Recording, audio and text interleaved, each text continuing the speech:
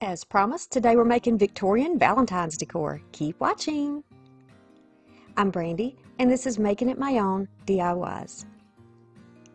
For the first project, we're going to do a Victorian-inspired swag. We're going to take two of these Dollar Tree pink trees. What other type of little wood hearts or paper hearts you have. A card or a printout that is Victorian inspired. And then, of course, there's a variety of beads and pearls and stickers that you can get from Dollar Tree, just to give you some options of things that I think might would work for vintage Victorian inspired. And then these beautiful bundles of flowers. And these were thrifted. I got two bundles of these. And they match perfectly, I think, with this card. So just make sure it's coordinating. I thrifted these beautiful ribbons. Alright, so we're going to take these out of the box. All you're going to need is the two trees. You're going to spread those branches apart and out so that they're flat on one side. And pretty much you can make them flat on both sides. Just spread them all out to these sides. We're going to be using these branches of the trees to connect our pieces down to the swag. Now this is not the same type of swag as we did in a previous Valentine's video, so it's going to be a little bit different. We're going to make a long, almost like a teardrop shaped swag, but it's going to be long. It's going to be like, I think it ends up being like 23 inches, maybe. You're just going to overlap them and then use your zip ties to go through the bottom I like to make sure that they go around sections that have branches because it kind of keeps them from slipping back and forth. It kind of locks them in place. So I'm just going to use two to hold it together.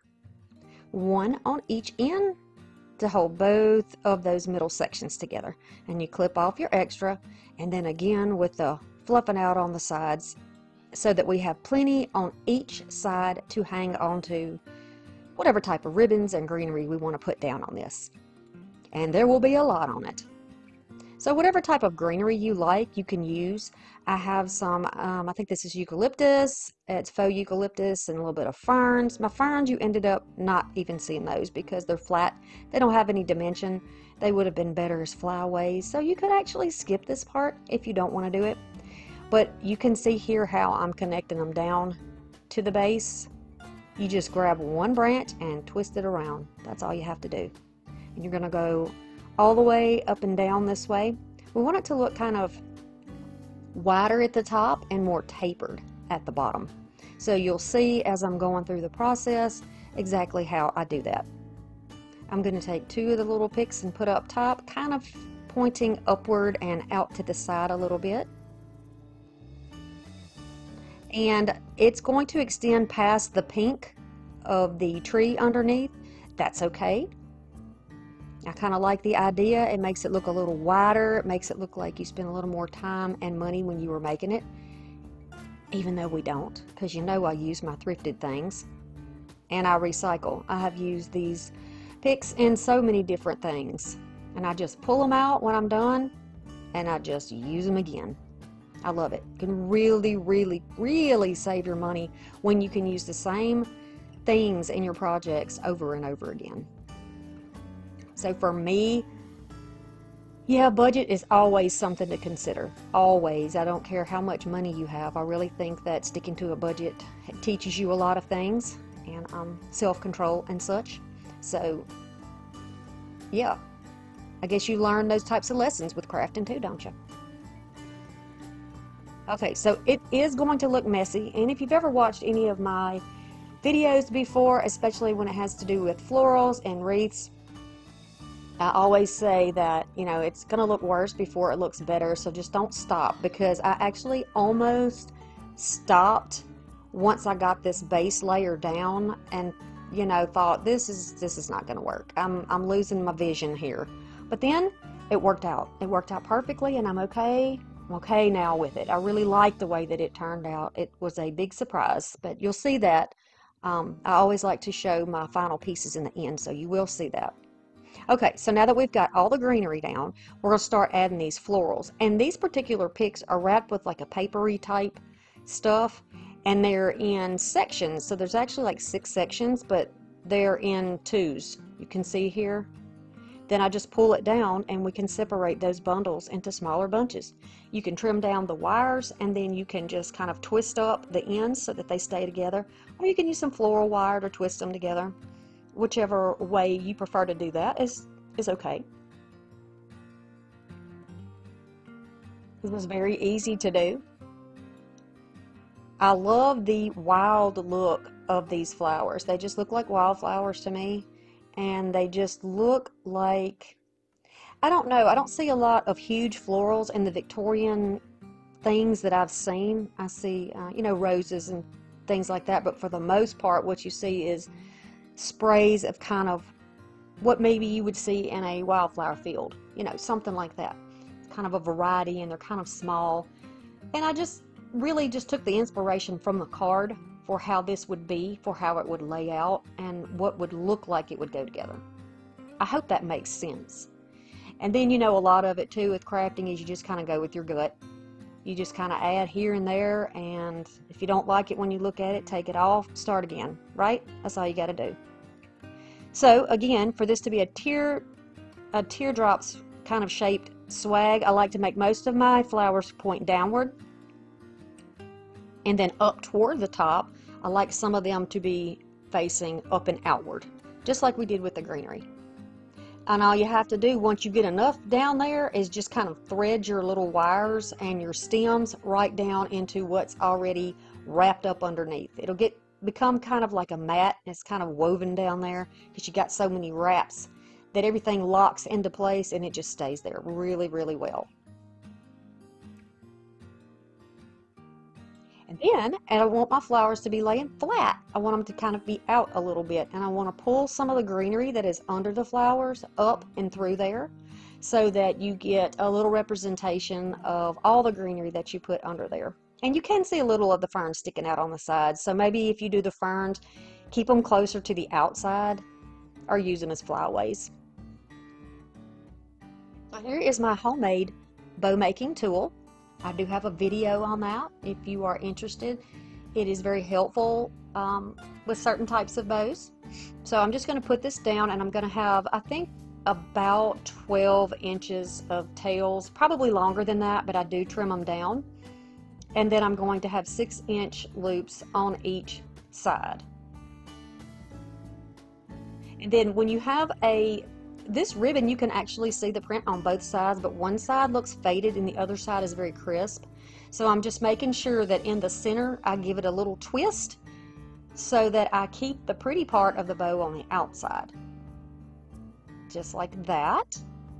And I'm just laying that loop right on top of the other one to make sure that it is the same size. There are lots of ways to make bows and you could make it smaller and smaller toward the center, but for this bow, I just wanted to go ahead and do it like this and put six loops on the left and six on the right. There are people who like or prefer to have odd numbers and that's probably the best way to do it because I know in floral design odd numbers seem to be the way to go. But you know me, I have to have the same amount on each side. For some reason in my brain, that makes me happy. So that's how I'm going to do mine. But you can do yours any way you like. And if you don't like this bow, use whatever type of bow you know how to make already. And that'll be fine too. But a simple bow like this, I think would be good for the style that I'm going for. So I'm going to use a pipe cleaner and twist around the center of the bow. And then you can just start pulling the loops out. Put your hand in the middle and push those wires out because this is wired bow. This will not give you the same effect if you use a floppy ribbon that doesn't have any wire in it. And just kind of fluff it out. And I'll turn that one inside out because I didn't flip it in the right direction. Got to get those bows fluffed. Then I'm going to feed my chenille stem or my pipe cleaner right through there, making sure that it wraps around the that center pole part of the tree. And yes, it's a struggle. I'm struggling here. But I do finally get it through there. And I'm going to pull both sides to the back. And then I will twist it around to hold it in place.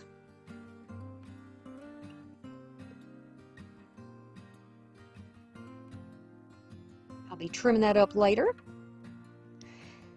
Now I'm just going to make sure that before I make it really tight that I have the bow where I want it on the swag. Now it is up in the top probably one third of this.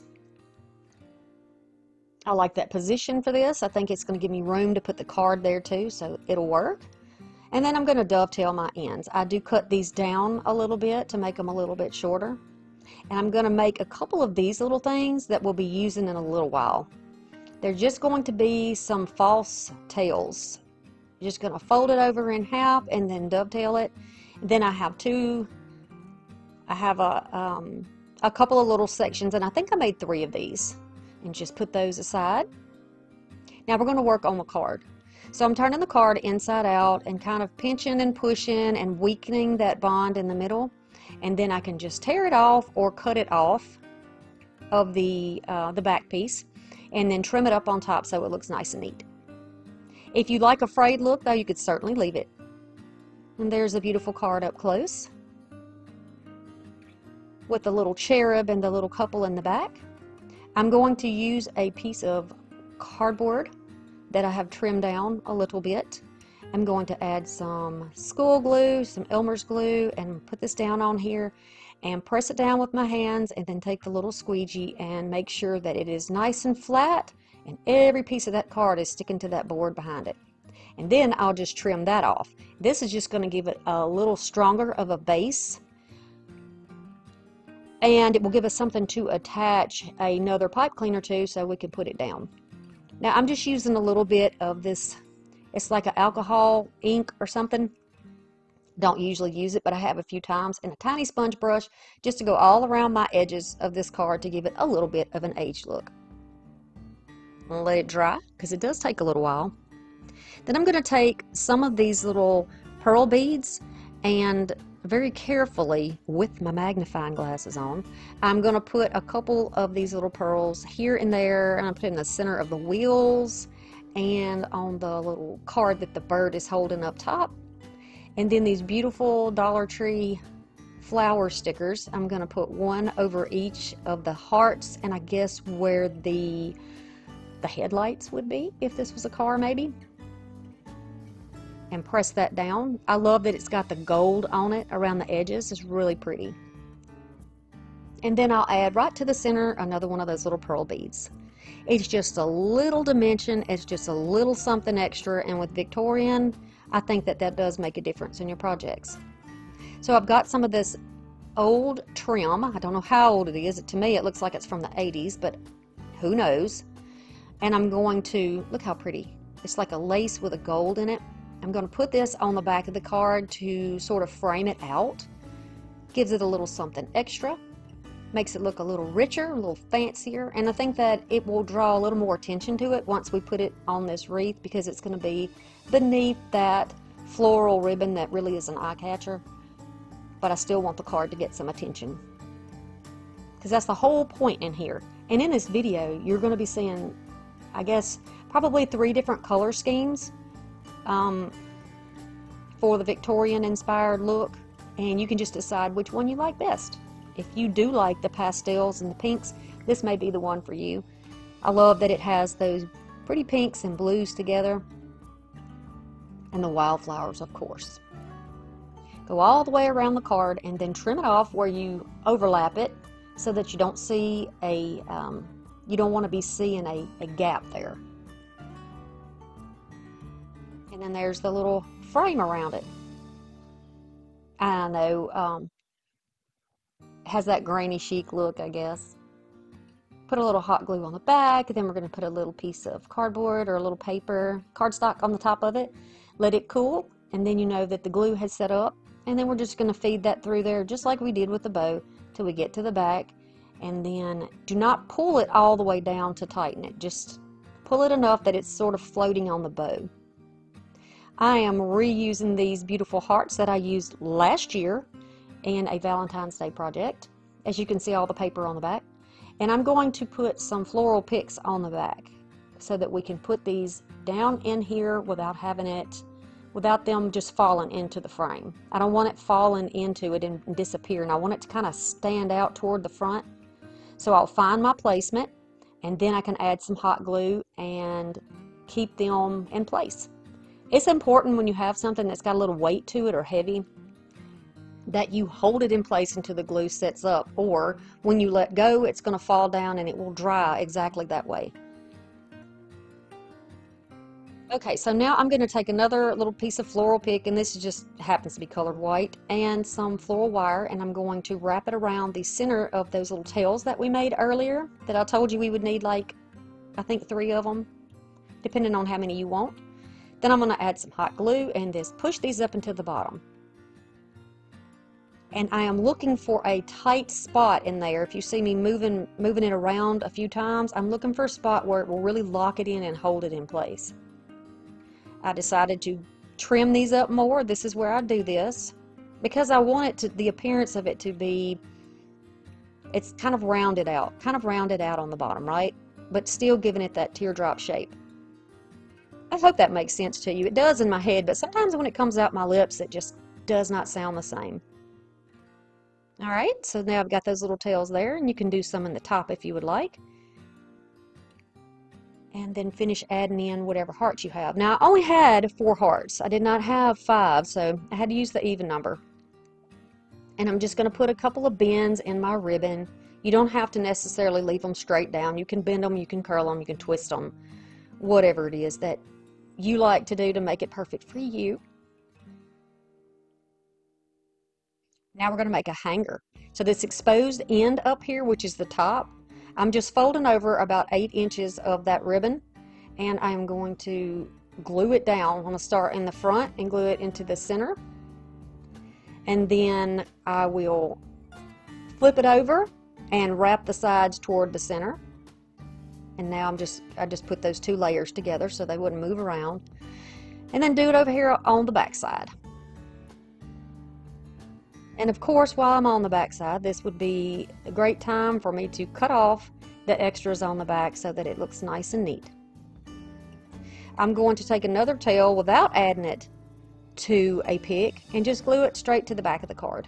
And that really fills out the bottom of this swag and gives it a little something extra that I think makes it just really pretty and stand out.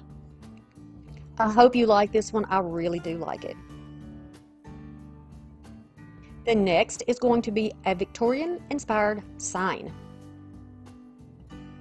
We're going to take these keys and hearts from the Dollar Tree and some of this beautiful Victorian paper that I've had quite some time. I think I have two more sheets left. It's tissue paper. A heart from the Dollar Tree. And some white paint and a sponge brush. I'm going to take the tag and the hanger off I'm going to add some of this paint all over here. Now the reason I'm painting it is because the lighter the color underneath, the more the items will stand out on your paper. It'll really see the difference in the brightness between the side that's on the table and the side that's on the white. That's the look that I like. I really want it to be bright and pop against the white that's in the background. And you will not be able to see that white, so that you don't have to do a perfect paint job, and you can certainly use chalk paint for that if you would like. You could even spray paint it. So I'm going to trim up a square enough to work with, make it a little more manageable, and then I'm going to take my glue stick and rub it all over the heart. The reason the purple is disappearing so quickly is because I used my little heat tool to dry my paint. So it's sort of warm and it makes it the glue dry kind of quickly. And it looks like it wouldn't dry at all at this point, but it does. It still has some tack and it does hold on to this tissue paper with no problem whatsoever. And I love that there's no bubbling. The paper is not wet, so it's not tearing. It's not hard to manage. I'm going to go from sort of the center outward to make sure if there are any wrinkles or lumps or bumps, we can get them out. And then using my emery board from Dollar Tree, I'm just going to file off all of this extra. Very easy to do. You can cut this with scissors if you don't have an emery board, a sanding block, or some sanding paper. Some people um, I've seen really, really like those finger sanders, so that would work too. I'm going to take some brush gold paint and I am going to sort of put it on this little stencil brush and then go up and down all over several of these different hearts. Now, there are several different styles, so I'm just painting one of each style till I can decide which one I want. And I'll also paint the keys. I'm going to go over with that same brush. I didn't add any more paint to it, and I'm going to go all over the edges and then on the probably like the last mm, quarter inch from the outside inward just to age it a little bit. I have some red cord. You could use red jute or a piece of thin red ribbon, uh, some lace here if you wanted to do that. I'm going to flip it over on the back and glue it down. And put the glue on there and then we'll use the little pieces of paper to kind of lock it into place. You could trim off the excess. Then I want this to look like it is hanging from the cord without actually having them hang from the cord. Now, from a distance, you cannot really, it's hard to see this gold. It really does not pop whatsoever. So you may choose to do pastel colors, you may do silver, you might want to do white here. Depending on the busyness of your paper in the background, because you just really cannot see this unless you were up close. I'm just adding it right to the tippy tops to have it glue down to the cord. I'm not trying to glue it to the heart in the back, just a little bit so it sticks down to the board and it still kind of has that freedom of movement. It moves around a little bit and I, I like that. So now I have some more of these flowers and I want to add these for a little more dimension, but you certainly don't have to. I'm going to put this really, really pretty flower on the bottom. It is a cream color with gold. My finger is gold. You can see my hands have paint all over them. And then I just added two here and there. And there's one on the bottom. And I took that same dry brush with the gold and went over those to kind of dull them down a little bit. Now I'm going to just glue these back on rather than poke them through the, a hole in the front. I'm just going to glue it on the back, but you can certainly go back through the original holes if you would like to.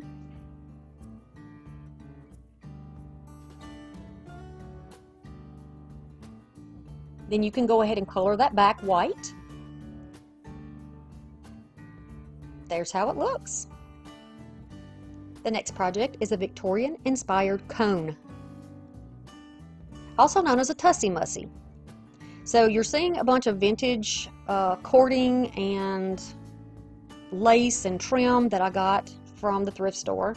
There's a little cone here, some pipberry, a wooden heart that I painted gold and an extra one of those gold hearts and this beautiful piece of fabric that I got from Goodwill.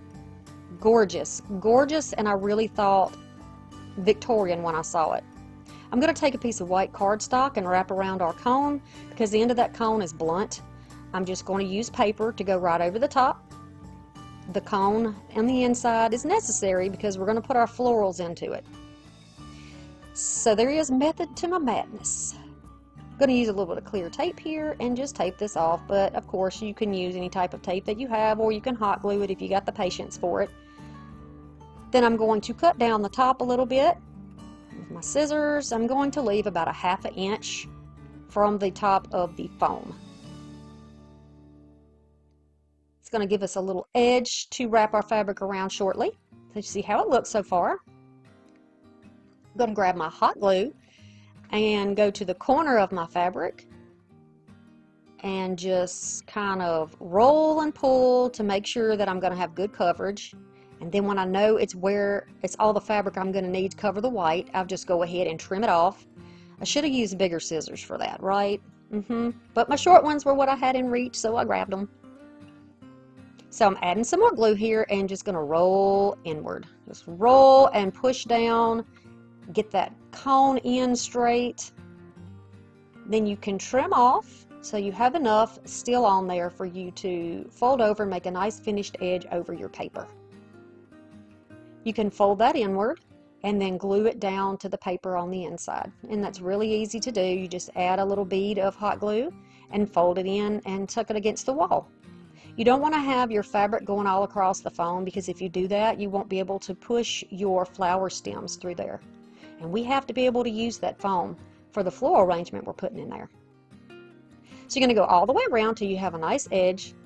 Then we're going to fill out our edge with a little bit of trim. And I'm going to double up the trim. kind of measuring off how much I'm going to need and then trimming it down. Then I'm going to use some hot glue and I'm not going to go all the way to the top edge, but pretty close, maybe an eighth of an inch away from the top. That's just the way I did it, but feel free to do it any way that you would like. I know that the Crafter Square in the Dollar Tree has lots of beautiful ribbon now and uh, yarn and all kinds of stuff. So you just use what you have on hand. You could cut a doily for this if you wanted to, like if you had an old stained doily, or you could cut one of those white paper doilies that you can get at Dollar Tree, and you could use something like that. And you don't have to use fabric, you can use paper. I actually have done a Tussie Mussy before. I did it last year. You've probably seen it in one of my compilation videos. Um, but I'll try to link that and uh, that way you can see how to do it with paper. I'm just going to take the other piece and go right over the top all the way to the edge with this really pretty, it's sort of a beigey, mauvey, taupey kind of color. Taupey, I don't know if that's a word. I'm going to take some of the gold cord and just put it on the back side and I'm determining the back side by where I have the seam of my uh, fabric in the back and I'm just going to use clamps to hold that in place for a minute till it dries. Then you'll see me pull it off, but it actually is a minute or two before I pull it off because I don't want it to fall off. I don't want to glue it to my table. And so this is our hanger. You would hang a Tussie Mussy off of a door or the wall or someplace like that. I have some of these, I don't know what that is, like a wood chip. Then I have some thrifted ferns and I have those beautiful pink pieces from the Dollar Tree. Those are gorgeous and I need more because they're really pretty. I'm going to take these fern picks, get whatever greenery you like. I've, like I said before, I think fern and a smaller scale greenery looks better with Victorian. If you look at the pictures and the cards and things like that, you see a lot of ivy and um, fern, stuff like that just do your research. You know, I don't know everything, and I'm certainly not somebody who is a. Um, I'm not well versed in Victorian. I just go by my own research. You know, just do. I just do my own thing here. So if you don't like it, or if it's not what you think is appropriate, then you can certainly change up and do it however you like. I'm going to add the bigger florals next and I think one of them is a rose, and I'm not sure what these other two are, but they look really pretty in here together, I think. That cream color, really nice.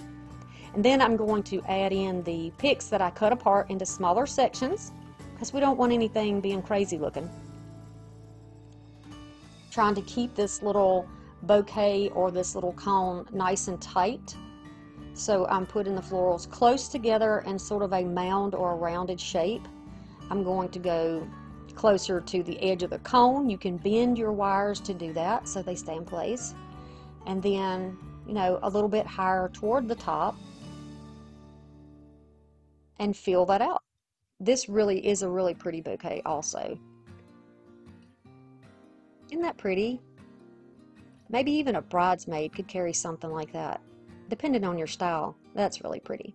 And if you notice, I just set it down in a jar so that I could work from the top and you could see what I'm doing from the top. I can't give you all angles because I only have one camera, but I can certainly show you above and then give you frequent looks of how it's going. I think most people agree that that was satisfactory. So I'm just taking some of the gold pipberry just because I wanted to add some more gold to it, a little bit of richness. And I'm just going to stick those in there. I'm not even giving them a good twist. I'm just kind of letting them be wild, kind of turn them to the side, a little bend here and there. And then to work on the charm, we're going to put the smaller heart right on top of the larger heart. Just going to glue it down. I'm going to take some of this cord and I think I end up with about nine inches of the cord that I'm using because you can't really see what I'm doing here. I apologize. Remember what I told y'all about getting in the groove. Then I'm going to put a piece right at the top of the key. Then I'm going to flip it over and glue the key sort of dangling down from the center bottom of the heart. And then I actually also glued the top section into a loop. So it will hang down like this freely. Gorgeous. Take a piece of wire or floral wire or one of those um, floral styrofoam pins and then just pin it down in there so it hangs. You could always tack it down with a little glue if you prefer to do it that way, but I like the idea of a little movement. It really catches the eye, I think. and I think it turned out nicely. Surely with the three projects that we have done, one of these would be something that you would like to have in your home or that you would like to try. It gives a gift for somebody. Valentine's Day is coming up. It's less than a month away, and it's always important to let the people around you that are part of your life to know that you love them and you care about them and that you thought enough about them to make something for them.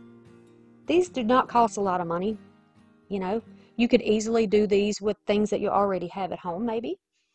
Just got to kind of think outside the box. I truly believe that all of us do possess some creativity. We're all given gifts by God. And I feel like if you learn something, maybe you should teach something. You know, if it's something that brings you joy, and, and it has been definitely 100% found to bring me joy. Most definitely, crafting does that for me. And also the joy that I get from sharing with other people who are like minded, who, you know, and maybe people who didn't think the same as me, but then maybe I changed their way of seeing things. That's important too, right? Thank you so much for joining me on the journey in 2023 for making it my own DIYs. And thanks for stopping by. I will see you again very soon. Bye.